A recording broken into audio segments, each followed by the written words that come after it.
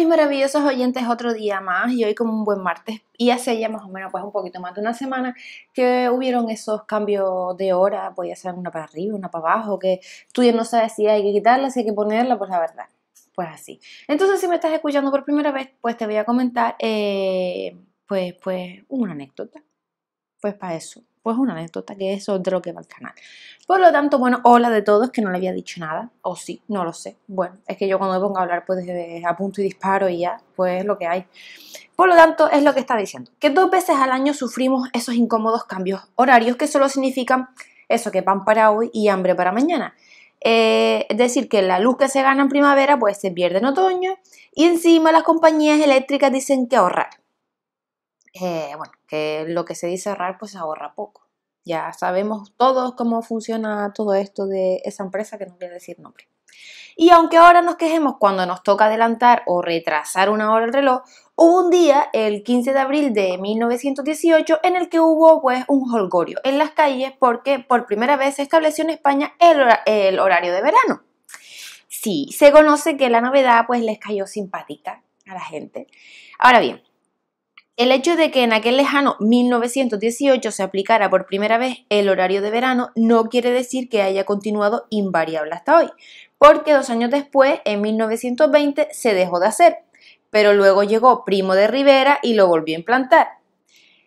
En definitiva, la Segunda República dijo que nada de cambiar la hora y anuló la medida. En el transcurso de la guerra civil se volvió a hacer el cambio, pero como los dos bandos no se pusieron de acuerdo en el día que debía hacerse, pues resulta que durante más de un mes pues, hubo tres horarios en España. Sí, hora nacional, hora republicana y hora, canaria. Durante la dictadura franquista, el cambio horario en España pues apareció y desapareció más veces que, que el Guadiana. Sí, el río, ya saben, eso.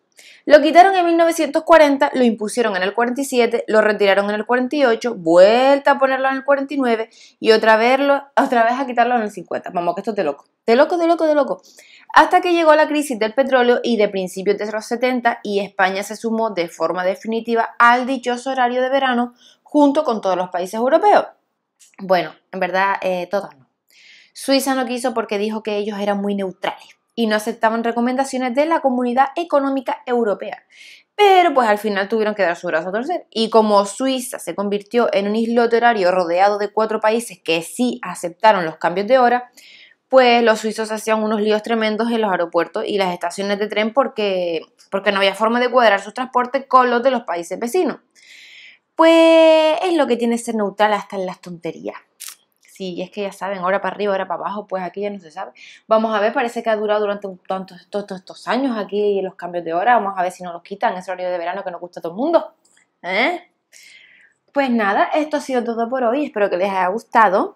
Y nada, pues muchos besitos y ya sabes, si te gusta, pues le das me gusta. Si te gusta pues, mi canal, pues deseo que te suscribas. Lo deseo con todo mi alma. Y pues si también estás interesado, siempre pasa algo de esto, me, hablo tan rápido que me embrollo. Y pues si te gusta y quieres comentar algo, pues también te invito a que comentes cualquier cosa. Por lo tanto, pues muchos saludos, muchos besitos y hasta mañana.